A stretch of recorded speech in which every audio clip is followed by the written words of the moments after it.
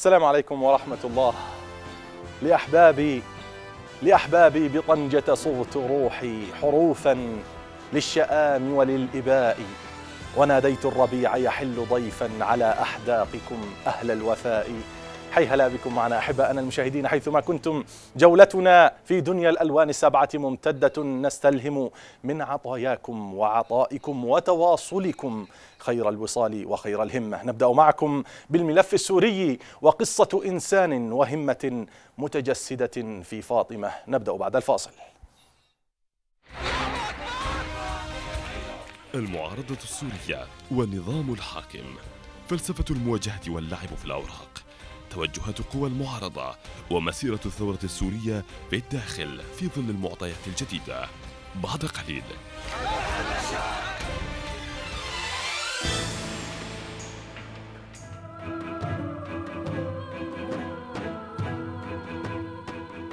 في سياحة ثقافية معرفية جديدة نسافر سويا في قطار عمل أدبي وكتاب جديد يحمل اسما ودلالة فاطمة الدعاء لا يعرف حد محاور للحوار المعرفي نتناولها بعيون المؤلف بعد قليل في الألوان السبع. ونبدأ معكم أعزائنا المشاهدين بقضية الملف السوري. الملف السوري والثورة السورية والتعاطي السياسي من النظام الحاكم في سوريا ومن المعارضة التي تتشكل أو تكاد من خلال رؤى وأطروحات سياسية أو غير سياسية. فلسفة الرؤية للنظام والمعارضة والعمل المؤسساتي وسوريا في ظل النظام الحاكم أو ما بعد النظام الحاكم وفق رؤية المعارضة السورية. فلسفة وحوار ونقاشات موضوعية مختزلة يسعدنا أن يكون للتعاطي معها ضيفنا المعارض السوري الدكتور محمود السيد الدغيم. أهلا وسهلا بك معنا أستاذنا في برنامج المشاهدات حياك لنبدأ إذا أحبائنا المشاهدين بقراءتنا للواقع السوري. كيف أمست الثورة في سوريا وما هو حال وواقع المعارضة السورية هناك؟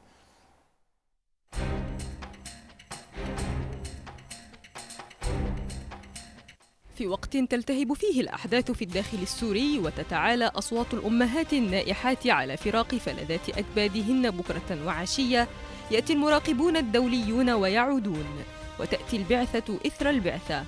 والانقسام العربي وخوف الدول على مستقبلها من بعد سوريا ماثل للعيان في القرارات السياسية التي تتوالى على الشعب السوري.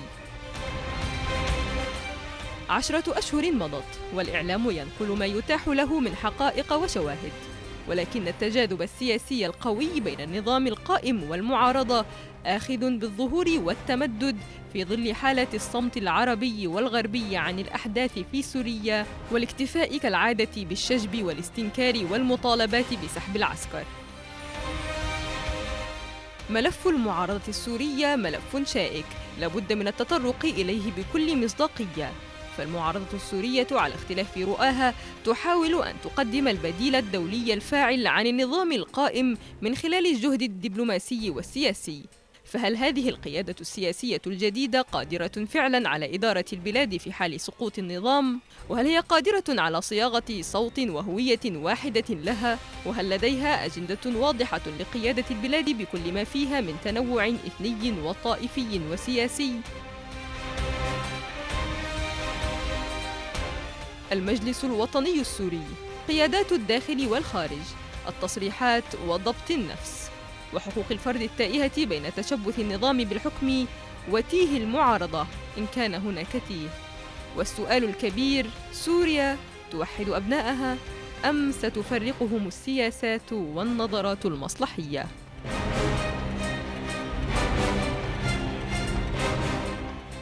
نعم ونعود إلى حوارنا مع ضيفنا المعارض السوري الدكتور محمود سيد دوغيم أهلا وسهلا بك مجددا. أهلا. لنبدأ أستاذنا بقراءتك المبدئية للمشهد السوري. كيف تقرأ وقائع الأحداث في سوريا اليوم بعد هذه الأشهر الطويلة من اندلاع الثورة السورية؟ الثورة مستمرة. والنظام يستمر بالقتل وارتكاب الجرائم بشكل يومي. هذه الجرائم لا تقتصر على القتل بل تتجاوز ذلك إلى نهب الأموال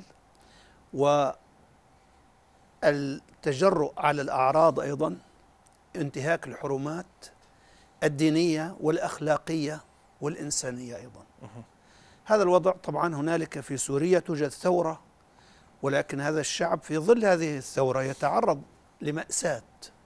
هذه المأساة حقيقة يعني حينما تفكر وترى أنواع الجرائم. يعني مثلا قذائف دبابات تستخدم على مظاهرات. فتصور يعني كم كيف سيتحول هذا الجسد البشري حينما تصيبه قذيفة دبابة أو قذيفة مدفع أو راجمة. طبعا يعني هذا عمل لا يقوم به أي نظام وطني في العالم. إنما هذا العمل هو عمل عدو. والنظام السوري أو أنا لا أسميه سوري حقيقة لو كان هذا النظام. سوري لما فعل ذلك بالسوريين وإنما هو نظام عميل ينفذ برنامجا خارجيا لتمزيق سوريا ونظام الحكم طبعا يقوم على أسس طائفية مقيتة. نتمنى أن تنتصر الثورة وتنتقل سوريا نعم. من هذا الجو الطائفي المأساوي. إلى رحاب الديمقراطية جو جديد. إلى رحاب الديمقراطية نعم. دكتور محمود والإنسانية أنت توصف الجو والمناخ العام في سوريا بأنه مناخ يتسم بالجريمة ويتسم بالعنف الممارس من قبل النظام النظام يعني من خلال اللجنة العربية أو البعثة العربية التي جاءت والتي طالبت الطرفين بإبداء احترام وقف إطلاق النار بالتالي هناك وأنا هنا أشدد على قضية المصطلحات يعني أنت تتحمل مسؤوليتها لكن نعم. اللجنة العربية دكتورنا الحبيب عندما نتحدث عن اللجنة العربية ودورها لم تثبت ولم تنفي شيئا. من خلال المطالبة جاءت برغمتية كاملة انعكاس كما قال الرئيس السوري بشار الأسد انعكاس لحالة التردي العربي. هل تتفق معه في التوصيف أولا؟ اللجنة أنا لا أتفق معه بالشيء إطلاقا.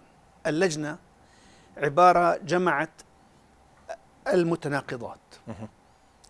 هنالك مراقب جزائري شريف ومراقب موريتاني وقد تحدثا بشفافية بينما رئيس المراقبين السوداني محمد الدابة هذا هو الذي قدم حرف وزور وهو رجل له تاريخ أصلا بالقتل ولذلك حينما يرى الدماء فأمر عادي بالنسبة له.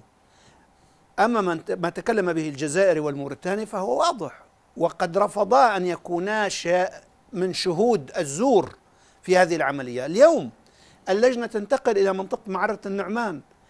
الدبابات تقصف بلدة حيش وتقصف أيضا في كفرومه وتقصف أيضا جنوب إدلب في المسطومة وتقصف في معرة النعمان. وعلى مرأى من هؤلاء المراقبين وكذلك الآن أضيفت خيانة أخرى بالنسبة لرئيس المراقبين عينوا هادي اليامي من السعودية. وهو شيعي متعصب كرئيس للجنة لجنة حقوق الإنسان والمعتقلين في البعثة المراقبين. ويضع رقم تلفون ورقم آه، موبايل جوال وإيميل ويطلب من الناس أن يراسلوه. أنا أنبه وأحذر الشعب السوري لا يراسلوا هذا الرجل لأنه له ارتباط من النظام هذا فخ للإيقاع بالثوار أيضا. اذا هذه اللجنة من أساسها إلى نهايتها هي لجنة معادية للشعب السوري هي لجنة ليس فيها شفافية ولذلك شعبنا يطالب بمراقبين دوليين. المراقبون الدوليون هم الحل. أما بالنسبة للمراقبين العرب كل مراقب حسب هواه وأكثرية اللجنة ليس لها علاقة مع الشعب السوري وإنما لها علاقة مع النظام. يستقبلونهم في الفنادق ولا نعلم ماذا وراء هذا الاستقبال. قد تكون هنالك الرشوة وقد يكون كل شيء. هذا علم الغيب. نعم لكن نعم. أستاذنا أستاذنا لكن, الكريم. لكن حينما تسكت عن ترى الدماء تنزف أمامك ولا تكتبها وتأتي كهذا محمد الدابة ويساوي ما بين. محمد الدابي. نعم. محمد الدابي. أنا ممكن إني أقرأ قرأت هكذا حقيقة. فيعني أحيانا التشديد لابد منه. عمليا حينما يساوي بين الضحية وبين القاتل. فهذا يعني دليل أن هذا الرجل منحاز والمنحاز لا يجوز أن يكون مراقب أصلا. جيد. الآن هذا موقفك من بعثة المراقبين. اليوم نتحدث عن معارضة سورية في الخارج تحمل أكثر من اسم وأكثر من عنوان. نعم. تنظر إلى هذه البعثة الموجودة وتنظر إلى الأحداث في داخل سوريا بنظرة متباينة. نحن لا نتحدث عن جسد واحد اسمه معارضة سورية. بالتأكيد وأنا هنا أشدد على هذه القضية خلال عقود منعت المعارضة السورية من ممارسة أي نوع معارضة في الداخل. بالتالي لا يجوز الحديث عن فلسفة معارضة وقوة مؤسسات وقرار موحد وقدرة على صياغة رأي سياسي معارض في هذا الاتجاه. لكن المعارضة السورية ليس لديها رؤية موحدة في هذا الاتجاه وهذا نظر كثير من المراقبين. أليس كذلك؟ على كل الأحوال قضية أن تصهر المعارضة السورية في بوتقة واحدة وفي رأي واحد وأن تصبح فوتوكوبي صورة طبق الأصل لبعضها البعض هذا أصلا ساقط ديمقراطية صحيح وليس أمر فلسفة. طبيعي أن يكون هنالك تباين بوجهات النظر. صحيح. لكن بما أن لدينا ثورة الثورة يجمع كل الشرفاء على أنها ثورة شعبية ديمقراطية صاحبة حق. عمليا من يواكب هذه الثورة من المعارضة؟ سواء كان في مجلس وطني أو في مجلس وثني أو في مجلس قرود السود ليست مشكلة. المهم أن يواكب الثورة. فالالتزام بمطالب الشعب السوري هو الذي يعطي المصداقية لأي فرد سواء كان مستقل أو في مجلس أو في هيئة أو جهة سياسية أو. حزبية. مطالب الشعب. لو رأينا تابعنا من خلال ما يتسرب وهو جزئي لا يتجاوز 10% أو 5% مما يحصل في سوريا لأن الإنترنت مقطوع في بعض الأحيان والكهرباء مقطوعة والاتصالات مقطوعة وكل هذه الأمور فيتسرب القليل. رغم هذا القليل نرى أن الشعب يريد إسقاط النظام. واحد. أش... إذن من لا يريد إسقاط النظام فهو خائن للثورة كائن من كان. الشعب يريد تدخل عسكري يحميه ولو كان أجنبيا. ليست مشكلة. المهم أن تحمي الشعب. نحن لا نريد هذا التدخل لاحتلال سوريا. إنما لحماية الشعب وهذا عن طريق الأمم المتحدة وهذا تكرر في أكثر من مكان. طبعا حبذا لو كانت قوات ردع عربية ولكن هذا لن يحصل في ظل الانقسام العربي والتشتت العربي. هنالك دول عربية تقف مع النظام. الشيء الثاني الشعب يريد حظر للطيران في كل سوريا. إذا من يؤيد هذا المطلب فهو مع الثورة. الشعب يريد مناطق وممرات آمنة للمدنيين. لأن أنت تخرج من قرية تصل للقرية الثانية تقتل على الطريق. من قبل الحواجز الطيارة والحواجز الثابتة. الشعب يريد تسليح الجيش السوري الحر لكي يحمي المظاهرات السلمية. من يقف ضد هذه المطالب؟ آه، هنالك مطلب آخر. الشعب يقول هيئة التنسيق عميلة للنظام ولا تمثلنا. فمن يتفق مع هذه الهيئة ويخرج معها بورقة عمل موحدة هو لا يمثل هذا الشعب. من يرفض أي مطلب من مطالب الشعب التي ترفع يوميا في المظاهرات؟ فهو لا يمثل هذا الشعب. وادعاء أنه معارض أنا أقول الثورة موحدة. هذه مطالب الثورة في الداخل. أما المعارضة في الخارج فهنالك معارضة أصيلة ومعارضة عميلة. النظام منذ بداية الثورة من 15 آذار مارس الماضي وهو يضخ معارضين بشكل يومي على أساس يخرجون ويقولون نحن انشققنا عن النظام ونحن أصبحنا مع المعارضة وهم بالتالي تجدهم من وراء الكواليس يتفقون مع هيئة التنسيق وهي عبارة عن مجموعة من المخبرين الذين يصممون النظام عمليا إذن مصداقية المعارض تتجلى بمدى التزامه بما يطرحه الشعب السوري داخل السقف سوريا السقف هو هذا هي الشارع. السوري. من يلتزم مع الشعب جيد دكتور محمود يكون له رصيد اسمح لي هنا سأتفق معك نعم. في هذا التوصيف الشعب السوري يطلب واحد اثنين ثلاثة أربعة من متطلبات الثورة السورية الموجودة هناك. المعارضة السورية فيها تنوع فيها تنوع عرقي طائفي مذهبي حتى سياسي. الناظر إلى أداء المعارضة هذا التنوع لابد أن يكون دليل قوة يعطي صورة مشرقة عن سوريا التي يريدها المعارض السوري ما بعد مرحلة بشار الأسد. لكن هل عمليا هذا التنوع الموجود هو دليل قوة أم دليل تناحر مصلحي؟ هذا يوافق هذا لا يوافق هذا يريد هذا لا يريد. ما الضامن أن تحقق مطالب الثورة بنظرية المعارضة؟ يعني عمليا أي تناقض بين المعارضة؟ ننظر لهذا يعني عمليا هنالك ثورة. فحينما نرى المعارض يرفض مطالب الشارع يطلب مطالب الثوار الذين يتظاهرون. حينما نجده يسير عكس تيار الثورة هل نستطيع أن نقول هذا معارض؟ هذا معارض خلبي وهمي ليس معارضا حقيقيا. المعارض الحقيقي من يلتزم بالثورة ولذلك كل من لا يع... لا يتفق مع الثوار في الداخل بآرائهم بمطالبهم فهو ليس فقط معارض خلبي بل خائن للثورة. جميل. هل تتفق أن النض... النض... الأداء السياسي عفوا في جانب المعارضة يبقى قاصرا عن تحقيق متطلبات هذا الشعب. بالتالي لا يوجد خطاب سياسي ناضج قادر على استجلاب الدعم العربي فضلا عن الغربي. لا أريد أن أتحدث عن دعم عسكري وغيره كما تطلب كما تقول تطلب الثورة السورية ولكن على أقل تقدير الاستعطاف العام.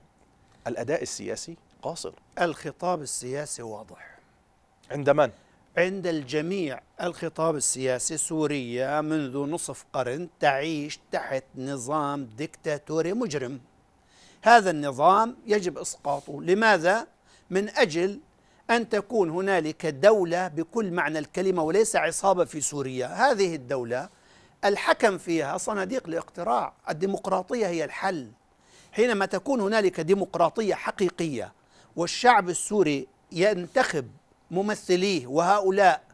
كما توجد تجارب ديمقراطية في كثير من دول الجوار توجد تجربة في تركيا. هذه التجربة في تركيا طبعا لا تستطيع أن تقول هي المثالية وما يطلبه الشعب التركي لكن بالتأكيد مع الأيام تتحقق مطالب. فالتجارب موجودة. هنالك الكثير من التجارب الديمقراطيه بدأت بثورات ووصلت إلى الديمقراطية. الديمقراطية هي الحل. حينما يمثل هذا الشعب بشكل صحيح حينما ينتخب الشعب ممثليه لا يكون هنالك تعيين ولا يكون هنالك تزوير. اذا سيمثل كافة شرائح الشعب السوري بغض النظر عن الدين أو عن اللغة أو عن القومية أو إلى آخره. مثلا الآن أضرب لك مثال. تذهب إلى المجلس الوطني أو غيره من الهيئات تجد أن هنالك مكون كردي ضخم بينما لا تجد مكون تركماني لا تجد تمثيل التركمان مع أن عدد التركمان في سوريا ليس أقل من الأكراد. اذا عمليا هنالك السريان مثلا في سوريا واسم سوريا مستمد من السريان. أين تمثيل السريان في هذه المجالس؟ هنالك شرائح كثيرة هنالك شيشان هنالك شركس هنالك أرمن في سوريا هنالك الديانات مسلمون سنة هنالك نصيرية هنالك دروز هنالك إسماعيلية هنالك عبدة الشيطان. إذا لدينا هنالك مسيحيون منهم شرقيون منهم غربيون. كل هؤلاء الناس حينما يكون هنالك ديمقراطية سيكون لهم تمثيل وهذا التنوع لا يقلل من شأن سوريا بل بالعكس سيكون رافد دعم وقوة لها. لكن النظام الآن يقوم على الطائفية الضيقة وإقصاء أكثرية السوريين. الآن ما لا يقل عن 80% من سكان سوريا خارج خارج القرار السياسي. القرار السياسي محصور بنخبة من أقل من 20% هذه النخبة هي عبارة عن نخبة ديكتاتورية مجرمة تعتبر أن الوصول إلى السلطة هو الذي يوصلها إلى المال ولذلك نشأ الفساد المالي في سوريا. ابحث عن اللصوص والحرامية. هم قادة القافلة الآن في سوريا. سأتفق مع توصيفك في هذه الجزئية وأقول لك مثلا توصيفك دقيق. في هذه أنت ماذا تقدم؟ يعني أنا النظام السوري أقول لك أنا هذا واقعي أنت ما هو بديلك؟ أنت ما هو طرحك السياسي كمعارض؟ الطرح السياسي قلت لك هو الديمقراطية أن تكون لدينا دولة أن هذه الدولة تحترم كافة أبناء الوطن بغض النظر عن أي تمييز عنصري أو عرقي أو ديني أو قومي أو إلى آخره تكون المساواة فيها على أساس المواطنة بالحقوق والواجبات الجميع سواء أمام القانون. هذه الدولة المطلوبة هذه التي نحن نطالب بها. ولذلك ما هو السبب؟ رفضنا لهذا النظام. ليس لأن هذا الرجل علوي وهذا مسيحي وإلى آخره ولكن لأن هذا النظام أقصى 80% وأكثر من سكان سوريا خارج اللعبة السياسية خارج القرار. هم عبارة عن شعب يعيش تحت قوة احتلال. هذه الاحتلال قوة الاحتلال الداخلي. قد تكون أخطر من الاحتلال الخارجي. نعم دكتور محمود اسمح لي هنا أن أستوقف حضرتك لنتحدث بصراحة حول هذه القضية. الآن ما يجري في سوريا سيكون له انعكاس مباشر على الواقع الإقليمي. هذا لا شك فيه. سواء فشلت الثورة السورية أو نجحت. بالتالي أداء النظام السياسي الموجود في سوريا وأداء المعارضة الكل يراقبه الآن سواء من الشعوب التي ثارت أو التي تخطط لثورتها أو التي لم تثر ولا تخطط للثورة. الجميع يرقب ما يحدث في سوريا. بالتالي لنأخذ جانب المعارضة الآن والحديث هنا عن جانب المعارضة تحديدا. المعارضة لابد أن تضع أولويات في خطابها الإعلامي. لابد أن تضع أولويات في الخطاب السياسي الجهات المخاطبة. فلسفة الخطاب والعمل السياسي المؤسساتي بوجهة نظر كثير من المحللين مفتقدة لدى المعارضة. هذا الكلام فيه نوع من التعميم. لا تستطيع أن تقول كل المعارضة ليس لها خطاب سياسي. الشيء الثاني قضية الوضع الإقليمي والوضع الدولي. انتصرت الثورة بتونس ونتائج انتصار الثورة لم تؤذي لا دول الجوار ولا دول العالم. انتصرت الثورة في مصر والآن هذه التجربة أيضا ناجحة. انتصرت الثورة في ليبيا. فلو جميل. استعرضنا تغيير الأنظمة وتغيير جذري ليس تغيير جزئي. لم يؤثر سلبا على دول الجوار ولا على الدول الإقليمية ولا على الدول العالمية. إذا لماذا؟ لأن هذه الأنظمة أسقطت ثلاثة من الدكتاتوريين وجاءت طبعا هنالك في مخاض الآن هذه الثورات. لم يتم الرسو على ميناء تام وإنما هنالك حراك يومي وإلى آخره لكن بالنتيجة المحصلة لهذه الثورات حتى الآن هي أفضل من الأنظمة التي سقطت سواء على الصعيد الوطني أو على الصعيد العربي على الصعيد الإسلامي على الصعيد العالمي. إذا عمليا في حال سقوط النظام بالعكس الآن النظام يمارس البلطجية مع دول الجوار ومع الدول العربية ويهدد بالاغتيالات و... ويعني معلش هذا نظام حقيقة نظام مجرم. حينما يأتي ويقصف حارة علوية في حمص بمدافع الهاون لكي يأتي المراقبون ويشاهدون. طيب كل العالم يعرف أن مدفعية الهاون غير موجودة لا عند الجيش الحر ولا عند الثوار. فعملية فضيحة. الشيء الثاني في تفجير الميدان يعني المشكلة أنه يصور كيف يضع الأكياس ثم يعني تنكشف هذه الأمور. هذا نظام نظام مافيا نظام عصابة نظام مجرم.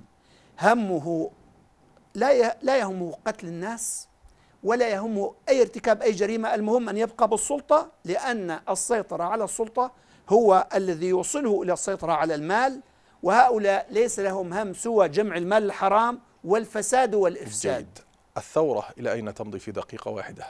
الثورة بدأت بإرادة إلهية لأنه لم يكن أحد يتصور أن هذه الثورة ستقوم في سوريا ولم يكن أحد يتصور الثورة التونسية ولا الثورة المصرية ولا الليبية هذه الثورات إرادة إلهية وهذا الشعب الذي يصمد في سوريا منذ عشرة شهور أيضا يصمد بإرادة إلهية لأن المعارضة ليس لها فضل على الثورة. الثورة تسير بالدفع الذاتي حتى الآن. ستستمر؟ نعم ستستمر. استمرت عشرة شهور. المساعدات الخارجية العربية صفر والعالمية صفر. ومساعدات أيضا الأثرياء السوريون في الخارج أقول لك بصراحة يعني الآن كل مدة تفاجأ بمؤتمر في فنادق خمس نجوم وتسأل في الداخل هل وصلكم شيء؟ والله لدي الآن وصلتني رسالة من شخص لو قرأتها لأبكيت الناس وهو يطالب من داخل سوريا أن يكون هنالك تنظيم للمساعدات بشكل فعال وليس من أجل زرع الفتنة في شوارع سوريا.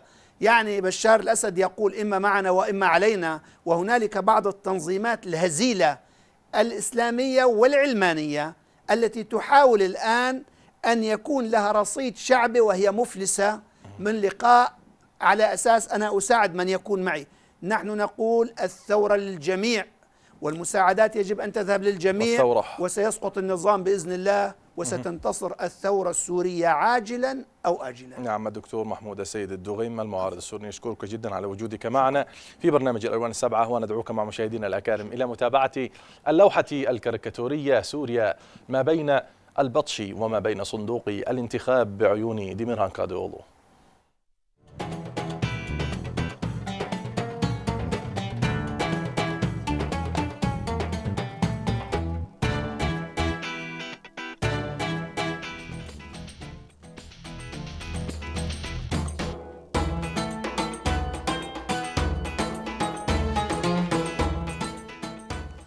وبحضور رئيس عفوا وزير الطاقة التركي تنار يلدز تم افتتاح مؤتمر إبداعي حول قراءة واقع الطاقة والطاقة البديلة وترشيد الطاقة. مؤتمر وسلسلة من المعارض التي هدف من خلالها المختصون والمعنيون بإبراز هذا الواقع رؤى إبداعية ورامي عبد العال.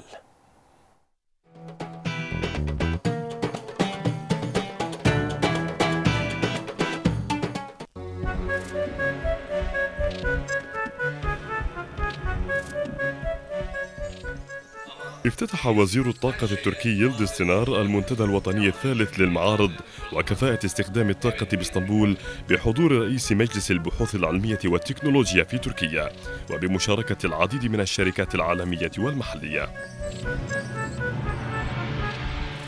المؤتمر ناقش أهمية ترشيد استهلاك الطاقة ودور وسائل الإعلام بتوعية الفرد والمجتمع بكيفية الترشيد في استخدام الطاقة من خلال الطرح الإيجابي وبشكل جديد للوصول إلى الأهداف المرجوة.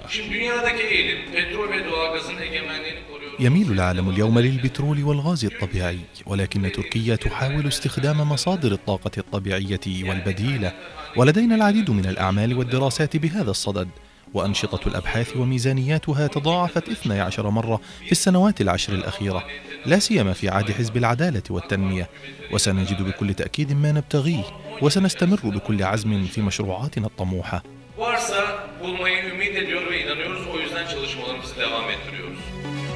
ضم المعرض العديد من الابتكارات والاختراعات التي تسهم إما في ترشيد الاستهلاك أو تحسين كفاءة استخدامات الطاقة. كما أتاح المعرض المصاحب للمنتدى الفرصة للزوار للاطلاع على المعدات والأجهزة المرشدة والأساليب الحديثة في تقنيات الترشيد والاستفادة منها. كل هذه المنتجات ستكون إيجابية جدا لتركيا وعلى أقل تقدير استخدام الطاقة بترشيد مدروس ستكون إيجابية أيضا وستتلاحق هذه المشروعات من خلال المهندسين الأتراك geliştirilmiş ürünler. Binamızın ne kadar daha enerji... بتطبيق النظام الجديد يمكن التقدير الدقيق لحجم وإشكال صرف الطاقة وترشيد الاستهلاك بصوره المختلفة حتى على مستوى إطفاء الأضواء بعد مغادرة الموظف لمكتبه وهذا النظام يمهد لوعي جديد ومعاصر هدف المنتدى إلى تسليط الضوء على أحدث التقنيات المستخدمة للحد من معدلات استهلاك الكهرباء في المنشآت العامة والخاصة وتأثير تطبيق هذه الحلول على تطور صناعة الطاقة وحماية البيئة. كما هدف المنتدى إلى عرض التجارب العالمية الناجحة في مجال توظيف مصادر وتقنيات الطاقة المتجددة والسبل الفاعلة التي من شأنها حماية تلك المصادر. لا شك أن الطاقة تلعب دورا محوريا في التطور الاقتصادي والاجتماعي باعتبارها من أهم المستلزمات المحركة للقطاعات الاقتصادية المختلفة لأي دولة. لبرنامج الألوان السبعة رامي عبد العال إسطنبول. وإلى رحاب إلى رحاب العلوم الآن أحبائنا المشاهدين. هناك حيث مكتبة إرسيكا سبعون ألف كتاب ومخطوطة ومؤلف ومصنف. موروث الإمبراطورية العثمانية الثقافي والعسكري. نسخ إلكترونية تسهل للباحثين نيل المعلومة والحصول عليها بشكل ميسور وسلس. قراءة في رحاب العلوم والدكتور سعيد الحاج.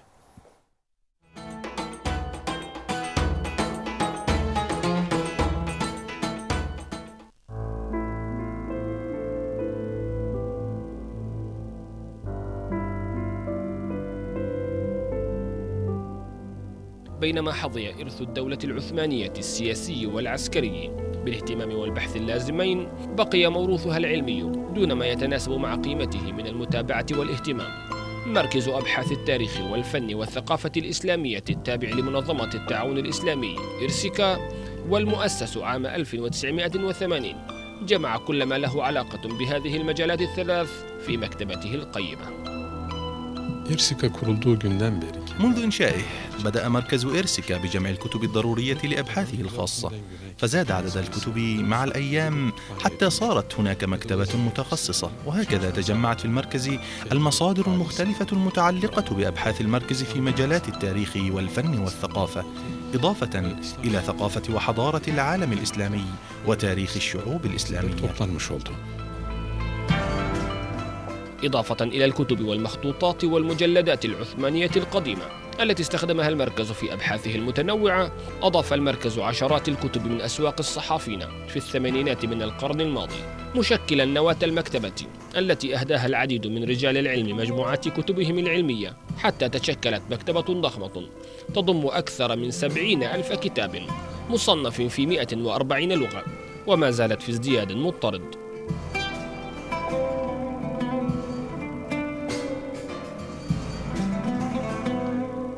وتلفت الأنظار ثلاثة ألبومات لصور قديمة لمدينة القدس. أغلبها صور في زمن السلطان عبد الحميد الثاني باللغات العربية والتركية والإنجليزية.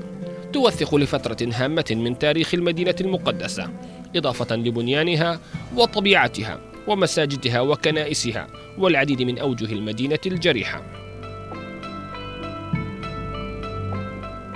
تعتبر المكتبة فرصة هامة للباحثين والأكاديميين حيث تقدم لهم الخدمة مجانا وتوجد الكتب بالصيغة الإلكترونية ليستفيد منها أكبر عدد ممكن منهم. تحتوي المكتبة كتبا من 140 لغة تسلط الضوء على تاريخ وفن وثقافة العالم الإسلامي بل وأجزاء أخرى من العالم. يقدمها المركز مجانا للباحثين ورجال العلم.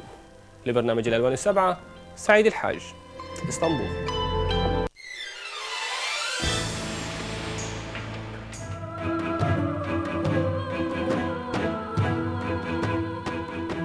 في سياحة ثقافية معرفية جديدة. نسافر سويا في قطار عمل أدبي. وكتاب جديد يحمل اسما ودلالة. فاطمة الدعاء لا يعرف حدا محاور للحوار المعرفي نتناولها بعيون المؤلف بعد قليل في الألوان السبعة تشير الدراسات والإحصائيات إلى علاقة وثيقة ما بين الألعاب التي يلعب بها الأطفال وما بين مستويات نموهم وصقل مواهبهم وشخصياتهم المستقبلية. نحملكم في هذا المساء إلى عنوان جديد وفلسفة جديدة لا بد أن تزرع في عقول وأذهان الآباء والأمهات بوصفهم مسؤولين عن الطفل ومن الواجب رعايته عقليا ونفسيا وسلوكيا. الألعاب في منطقة أيوب حيث لا بلاستيك وإنما ألعاب مصنوعة من الأخشاب ومن الطين قراءة تحملنا إليها الزميل رشيد الفطماوي.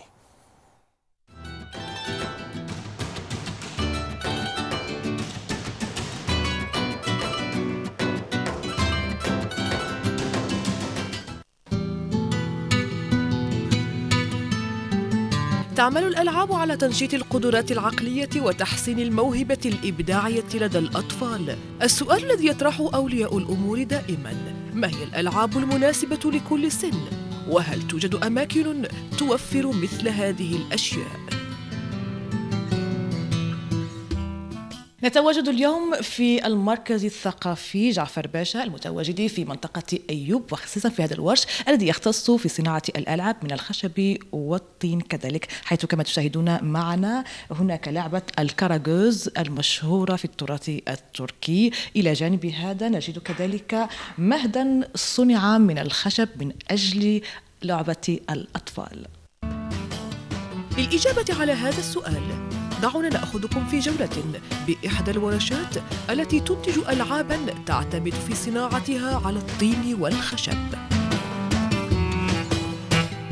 تناولت ورشة العمل مختارات من اللعب الشعبية وما تتضمنه من قيم جمالية نابعة من البيئة التركية وخاصة أنها مصنوعة من مواد صديقة للإنسان ولا تشكل ضررا على الطفل. استمدت الألعاب جماليتها من الموروثات الشعبية وقد أفادتنا إحدى المشرفات على المشغل بالمعلومات التالية.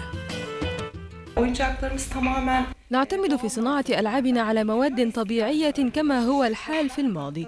نستعمل الطين والخشب والجلد فتجد أن ألعابنا غير مضرة بل بالعكس. إضافة إلى نوع الصبغة الذي هو من النوع المائي غير الضار. وكما ذكرت فإن ألعابنا هي ألعاب غير مضرة بصحة الطفل. فكما تعلمون أن الألعاب الموجودة حاليا تدخل في صناعتها مادة البلاستيك التي تهدد صحة الإنسان. إن تأثير اللعب والدمى على الطفل ونمو جسده ومداركه يوضع جنبا إلى جنب مع المؤثرات الصحية والعاطفية والغذائية والتشجيعية منذ اللحظة التي تبدأ أحاسيس الطفل تمارس وظائفها في إبصار الألوان. وتمييز الأشكال وتحديد طبيعة الأشياء المحيطة بالطفل ومكوناتها.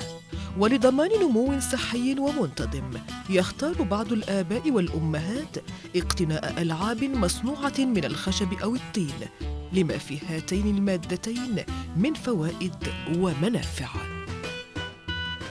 كما تتبعتم معنا فإن جل هذه الألعاب صنعت من الطين وكذلك الخشب وتعتبر هذه المواد موادا صحية بالنسبة للأطفال. كانت معكم رشيدة رتموي لبرنامج الألوان السبعة قناة التركية إسطنبول. قال الشاعر قديما وإذا كانت النفوس كبارا تعبت في مرادها الأجسام. كثير من الناس ما يربط من يربط ما بين فلسفة بناء الذات والقوة القيمية الموجودة داخل الإنسان وما بين أدائه وانعكاسها على سلوكه النفس حركي كما يسميها علماء الاجتماع. لكن هناك صورة فارقة. يقول أحد العلماء قديما جنتي في قلبي. السعادة الإيمان العزم التصميم الإرادة والهمة كلها عوامل تبنى في النفس بناء بغض النظر عن صحة الإنسان وسلامته أو مرضه. فاطمة شخصية وعنوان وقصة باتت مكتوبة ما بين سطور كتاب حمل اسمها مشفوعا بالدعاء وهذا الدعاء الذي لا يترك مجالا للإعاقة. ضيفنا العزيز مؤلف هذا الكتاب فاطمة الدعاء لا لا يعرف حدا لا يترك حدا للإعاقة. ضيفنا العزيز الأستاذ أحمد بلوط الكاتب والباحث التركي. أهلا وسهلا بك معنا أستاذنا. Hoş bulduk. أهلا وسهلا ومرحبا. سنبدأ معكم أحبائنا المشاهدين بتعريفكم بفاطمة أولا هذه الإنسانة المعاقة ولكن بهمتها وصبرها وتصميمها سالت دموعها عندما حققت مرادها نتابع سويا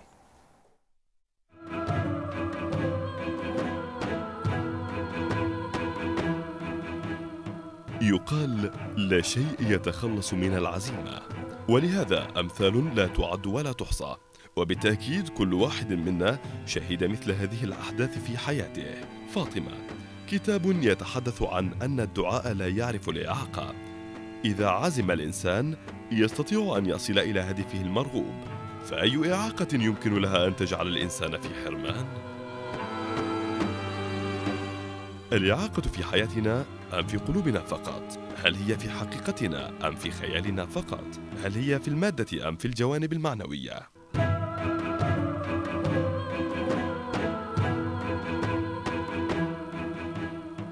حياة فاطمة تاطلي المعاقة تدعونا إلى تساؤلات كهذه. فتاة تعيش في حياتها الصغيرة إعاقات كبيرة بالنسبة لنا وترجو ربها بدعاء وأمل كبيرين وبفضل هذه الأدعية. لم يترك الله أية إعاقة أمامها.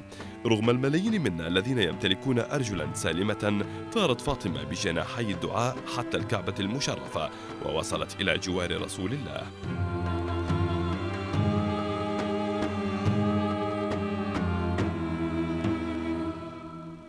إذا أردتم أن تجربوا إعاقتكم عن طريق قصة عبودية الفتاة المعوقة الممتدة من قرية في تركيا إلى الكعبة فسينتظركم هذا النموذج ليتحدث لكم عن كيفية نجاح ذلك.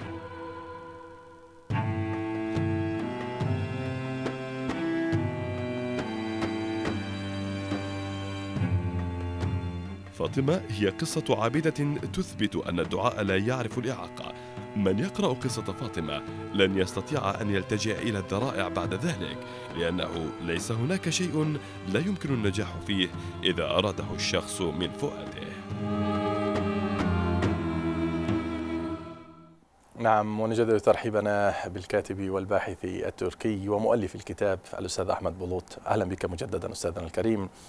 فاطمة ليست من أقربائك وليست جارتكم ولكنك أردت أن تكون فاطمة نموذج. ما الدافع وراء تأليف الكتاب ومن هي فاطمة أستاذنا؟ أيوة. إن فاطمة نستخدمها أو استعرفت عليها أثناء محاضراتنا لبث الوعي بين الناس في موضوع الصلاة. وجدت فاطمة وقالت لي أنها يوجد لديها مرض ذوبان العظام وأنها تعاني بشدة منذ عشر سنوات وأنها قد اقتربت من أيامها الأخيرة. استمعت إلى إعلان المحاضرة من إحدى القنوات التلفزيونية. جاءت لتستمع إلى المحاضرة وتعرفت عليها بعد المحاضرة. وبعد ذلك جلست معها لدقائق. إن وضعها أثر فينا كثيرا لأنها كانت جاءت من قرية نائية من أجل الاستماع إلى هذه المحاضرة. إن فاطمة بعد ذلك ذهبنا إليها إلى تلك القرية مع مجموعة من الناس في قريتها في مدينة سواس في الصباح الباكر عندما وصلنا إلى تلك القرية عندما سألنا عنها سألنا عن فاطمة ثم وجدنا مكانها. قال انتظروني قليلا حتى ندعو حتى ندخلكم إلى المنزل. ذهبنا ورأينا فاطمة على السرير وبكت فاطمة وابتسمت. وعندما رأينا دموع هذه البنت وجدنا الأب وجدنا الأم وجدنا الجد وحتى كان معنا أحد الدكاترة أيضا بكيت. وبعد ذلك قالت فاطمة إنني كنت أعلم أنكم ستأتون لأن الله دعوت لأنني دعوت الله سبحانه وتعالى أنكم تأتون إلي. فكان ذهابنا في الصباح الباكر إلى منزل فاطمة كان هو دعاؤها. كلما سألنا سؤالا لفاطمة كانت تجيبنا بتفسير آية من القرآن الكريم. كانت تتمنى من الله سبحانه وتعالى أن تختم القرآن تسعا وتسعين مرة بتفسيره. و أرادت أن تفهم رسالة وهي لا تعرف اعذرني جدا لمقاطعتك ولكن وهي لا تتقن قراءة اللغة العربية هنا. اسمح لي هنا أن أوجه التحية إلى فاطمة ونرجو أن تكون في الاستماع إلينا في برنامج الألوان السبعة ونشكرها على همتها ونبارك لها بزيارتها للبيت الحرام. لكن أستاذ أحمد بلوط هنا أنت أردت أن تضرب مثالا من خلال هذا الكتاب. أردت أن تجعل شخصية فاطمة نموذج للإنسانة المعاقة صاحبة الهمة. هل هذا توصيف دقيق؟ إن الدعاء طاقة كبيرة أو أن الإيمان قوة لا تصدق. نحن في تركيا على سبيل المثال يوجد لدينا عشرة بالمئة من المعاقين. هذه معاقة وهي تحدثت مع ربها سبحانه وتعالى. وكانت تقرأ آيات الله سبحانه وتعالى وعلى أن آيات الله سبحانه وتعالى تخاطب هذه المرأة. لا شك أن الكثير من من قرأ هذا الكتاب تغيرت نفسيته والكل يقول أنهم لاحظوا الطاقة الكامنة في نفوسهم. إن بعض الناس الأغنياء حقا إلا أنهم فقراء معنوية. إننا من خلال فاطمة الفقيرة استطعنا أن نمتلك الكثير من الطاقة. نعم وهذه الأمثلة في بث الهمة في الناس الأسوياء في أصحاب الأبدان السليمة. أستاذنا الكريم بضرب مثال عن إنسانة معاقة صممت وعزمت وحققت أهدافها واتصلت بالدعاء واتصلت بالهمة واتصلت بالعزيمة والتخطيط في حياتها أيضا. مثل هذه النماذج ألا تعطينا صورة واضحة عن أن الإعاقة لا تكون في الأبدان؟ ربما كثير من الأسوياء معاقون من داخلهم. ألا تتفق معي بهذا التوصيف؟ نعم إنني أشاطرك الرأي في إحدى لقاءاتنا مع السيدة فاطمة قالت لنا أن الإعاقة في بدنها ليست في قلبها وعقلها. فلذلك إن الله سبحانه وتعالى يفيد بصريح العبارة في القرآن الكريم. لهم قلوب لا يسمعون بها. إنهم إن الإيمان قوة عظيمة. والمعاق هو الذي لا يسمع ولا يرى. صم بكم عمي فهم لا يرجعون. وهكذا إذا توكلتم على الله سبحانه وتعالى فإن الله سبحانه وتعالى يتكفل بعبده ومن يتوكل على الله فهو حسبه فلذلك حتى هذا جميل. اليوم أصبحت فاطمة نموذجا للكثير من نعم. الناس نعم. أستاذ أحمد هذا المثال أنت أرشفته من خلال هذا الكتاب وأيضا كانت لك أعمال أدبية أخرى وأعمال في التأليف أخرى كانت إحداها. واسمح لي هنا أن أوجه تحية إلى شريكتك في صناعة الكتاب الأستاذة جولسرين وهي كانت ضيفتنا قبل ذلك ونتمنى من المشاهدين الأكارم أن لا ينسوها لأنها مثال إبداعي لمعاقة تقود الآن مؤسسة جولدست في ألمانيا وحازت على جميع يعني التقدير من الناس وحازت على كثير من الهدايا التقديرية والجوائز. لكن نوجه لها التحية من برنامج الألوان السبعة. ونحن لم ننسى هذا العطاء الإبداعي للأستاذة جولسيرين أستاذنا الكريم عندما تركز من خلال مشاركتك للأستاذة جولسيرين ومن خلال تركيزك على شخصية فاطمة هناك كثير من النماذج التي لابد أن يعيها الناس. هناك كثير من النماذج التي لابد أن لا تغيب عن أذهان البشر حتى الأسوياء لأن من لم يشعر بحال المجتمع من حوله لا يمكن أن يكون إنسان إنسانا معطاء لا يمكن أن يخدم مجتمعه لا يمكن أن يسود في مجتمعه. من يتناسى شريحة المعاقين من يتناسى شريحة الفقراء لا يحق له أن يتحدث عن مجتمعه. أليس كذلك أستاذنا؟ نعم هذا صحيح بطبيعة الحال. النبي محمد عليه الصلاة والسلام أكد على هذا المعنى في أكثر من حديث. فلذلك هؤلاء يمتحنون بإعاقاتهم ونحن نمتحن باختبار هؤلاء. إن هؤلاء نعمة عظيمة لنا. لنتذكر نعم الله سبحانه وتعالى لأن هؤلاء لا يطلبون منا الشيء الكثير. يريدون منا التقدير كأناس. وإذا قدرناهم فبإمكاننا أن نقوم بالكثير من الأمور. إن في تركيا على سبيل المثال نحن نتركهم إلى القدر. إنني في إحدى المحاضرات في ألمانيا ذهبت إلى إحدى الكنائس. حزنت لرؤية بعض الأشياء لأن الكنيسة كانت تفكر ماذا يمكنها أن تقدم لأولئك المعاقين. على الصعيد البدني وعلى الصعيد المعنوي أسسوا قرية متكاملة وكنت أتساءل لماذا لا يحصل مثل هذا الأمر في دولة إسلامية بشكل عام؟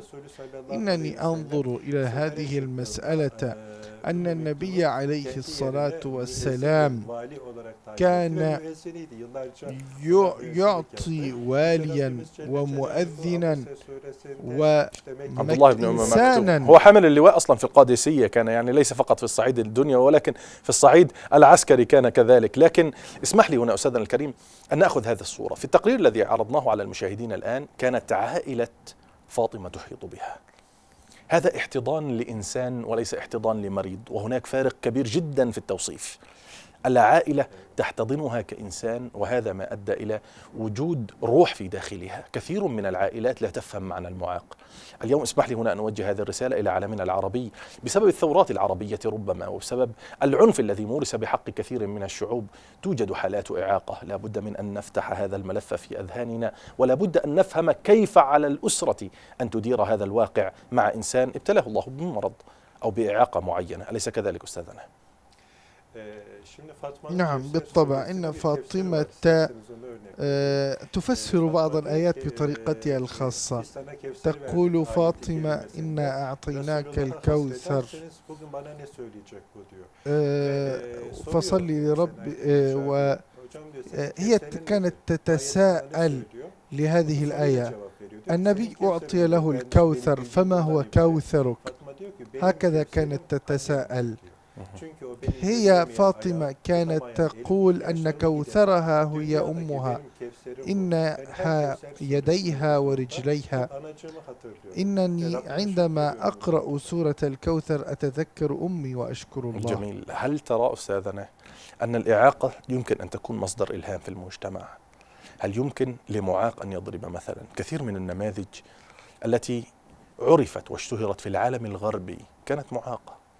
كثير من القيادات كانت تعاني من إعاقة. بعض الإعاقات بدنية ولكن كثير من الناس يصممون ويصنعون فجرهم وغداهم وقراءتهم وشخصيتهم في مجتمعاتهم من خلال روحهم وليس من خلال أبدانهم. البدن تراب ويفنى ولكن الروح هي الباقية.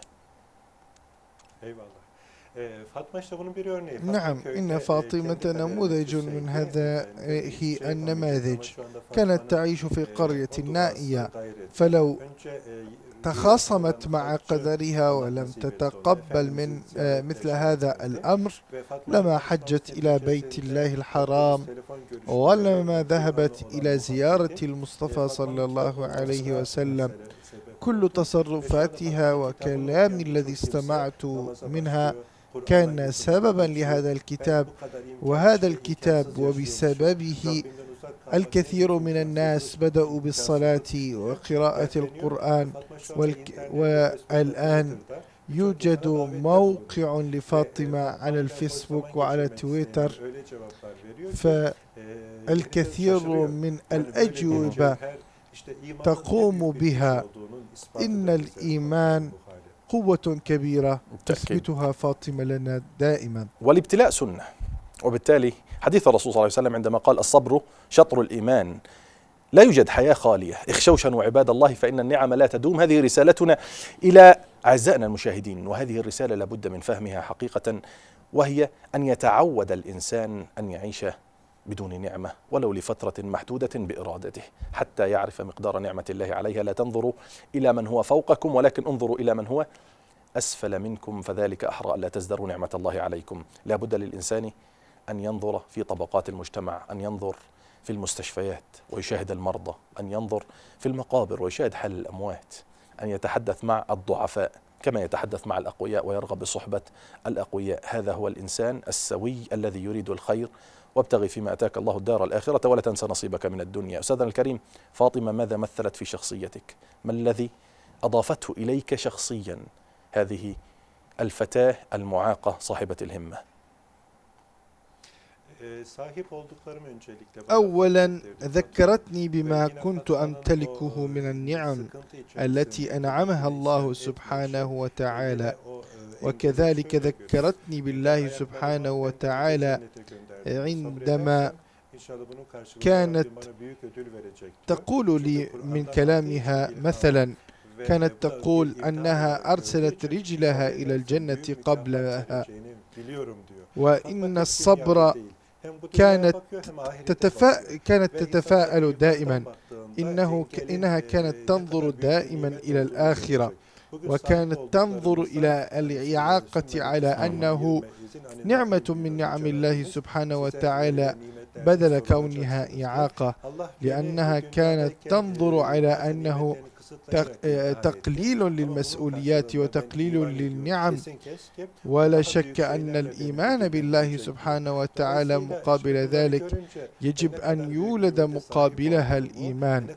وكل هذه الأمور يجب أن يذكرنا مرات ومرات بنعم الله سبحانه وتعالى وبواجب الشكر على العبد إن فاطمة تذكرنا بهذا كله وأننا سنحاسب أمام الله سبحانه وتعالى عن هذه الأمور.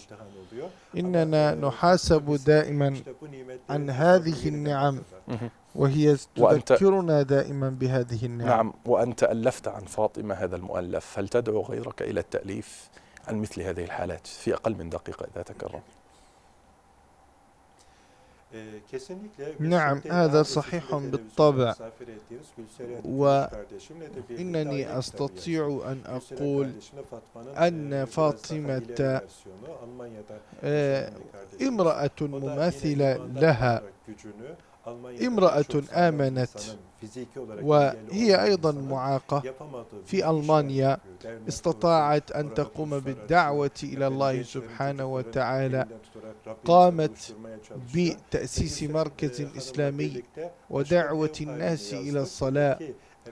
ولا شك أن هذا الأمر سواء كان في تركيا أو في الكثير من الدول يوجد الكثير من حالات الطلاق مثلا.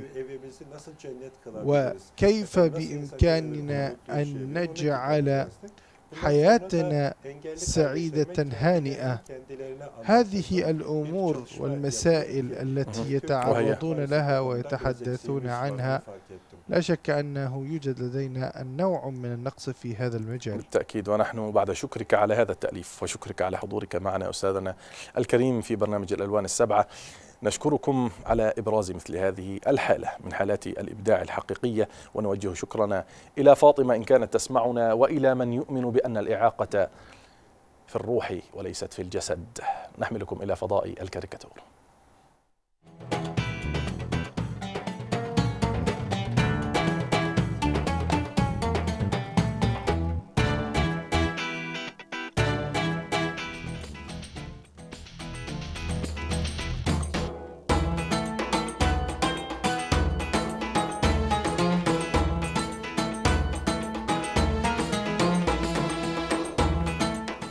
ألواننا سبع ألواننا سبع تضيء بحبكم. فإلى اللقاء بموعد ووصال. وصلنا إلى نهاية جولتنا مع حضراتكم. أيها الأحبة حيثما كنتم ابتدأنا معكم بالمحبة. وننتهي معكم بالمحبة وبالهمة. على أمل اللقيا بكم مجددا نستودعكم الله. والسلام عليكم ورحمة الله.